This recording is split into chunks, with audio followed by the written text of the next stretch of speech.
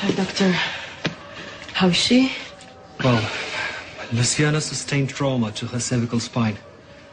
Her current condition may just be temporary. We have to assess her more extensively.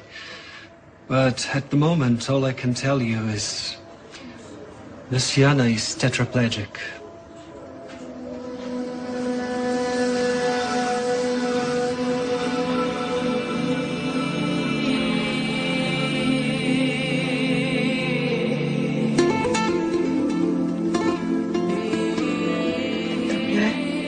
É tetra!